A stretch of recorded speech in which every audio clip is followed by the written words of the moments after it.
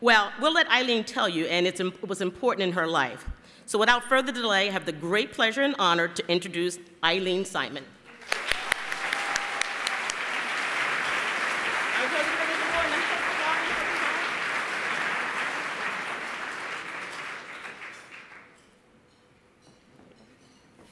Thank you so much, Carol, for that kind and inspired introduction. I definitely think I have one of the most energetic presenters in the room.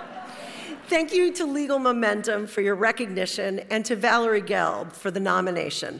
I'm humbled to be in this group of remarkable and esteemed women. Suzanne, Gina, and Linda, congratulations to you, as well as to the other amazing women who have been recognized and celebrated over the past 15 years. Thank you, too, to my family who braved traffic to be here, to my colleagues here today who've supported, mentored, partnered, at times put up with me, and taught me what I know today. I'm particularly proud because I couldn't agree more with what Legal Momentum stands for advancing the rights of women and girls by using the power of law to create innovative public policy. This award represents the individual and collective efforts, truly the village, that it takes to change the lives of those in need and to create a truly equal workforce. I'm fortunate to work for a company that takes diversity and inclusion, both financial and otherwise, very seriously. I have both the opportunity and the responsibility to lead by example to help create an equal workplace for women and girls. MasterCard does amazing work in the areas of financial inclusion and diversity.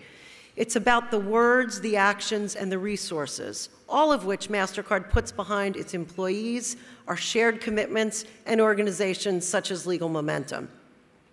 As a daughter, a wife, a mother of a daughter, and a lawyer, this mission is particularly personal for me. I want my daughter and future generations of women to feel that shattering the glass ceiling is no longer elusive. It's no longer a thing.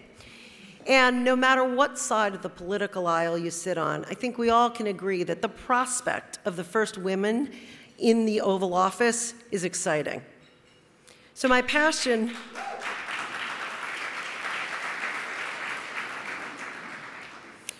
My passion for diversity inclusion in the workplace was shaped by my upbringing. As some of you in the room may know, I grew up in Teaneck, New Jersey, answer to Carol's question, which is a diverse, voluntarily integrated community that my parents chose for those reasons. Diversity and inclusion remain important there, and they also are important to the way my husband and I are raising our daughter. Perhaps because I was immersed in a diverse environment, I took for granted that everyone was as open minded as what I was exposed to. I was shocked to discover how untrue that can be in certain situations, and I was motivated to get involved. It wasn't until I got to MasterCard that I became conscious of my gender as a differentiator in a professional setting. When I started with the company about 16 years ago, the group of people around the table were fairly homogeneous mostly white men with banking backgrounds. Today, the company has evolved tremendously. We not only look different, we think and act differently. We do business in 210 countries and territories, and our employee base reflects the consumers and businesses that use our products. As a result, we're bringing in more people from different backgrounds that have varied life and work experiences. The inclusion conversation within the company is a microcosm of what's happening globally. And that conversation is going on this week with the MasterCard Global Inclusion Summit, which I had the privilege of attending yesterday. We are by far a more vibrant and dynamic organization today than we were when I joined in 1999. Along with my colleagues at MasterCard, I'm a big believer in mentoring others. Our culture encourages it, both at work and beyond. We're also conscious, of course, that mentoring is a way that we can help cultivate the next generation of talented leaders. So I want to share my personal recipe for success, or what's worked for me. Why study law? Although I didn't realize it at the time, with the benefit of hindsight, I truly view law as incomparable training to think, to write, to view the world critically and analytically. Law is a tremendous platform to do other things. That's why this organization's name, Legal Momentum, resonates with me. Legal training gives you a grounding and the momentum to do so many different things with your career. So, confession I did not grow up knowing that I wanted to be a lawyer. Like many of us, I was influenced by my environment, and I had a lot of exposure to psychology in the home from my parents' professions, and I also studied it in college. My daughter, Table 12, on the other hand, is the product of two litigators and seems destined for the courtroom if her explanations of unfinished homework or why she actually doesn't have to clean her room are any guide. Women helping women. Patricia already quoted Margaret Thatcher on the topic, and I think it's incumbent among women leaders at all levels to bring other women along. Valerie Gelb, who nominated me for today's award, truly embodies this spirit. I do my part by acting as the executive sponsor to the Women's Leadership Network, or WLN, at MasterCard. That's a business resource group focused on enriching career opportunities, inspiring success, encouraging entrepreneurial leadership, and empowering women to lead at MasterCard. Take a risk. Put your hand up. Take on a temporary assignment at home or overseas, an additional project, get involved in community activity. Don't wait for the opportunity to find you.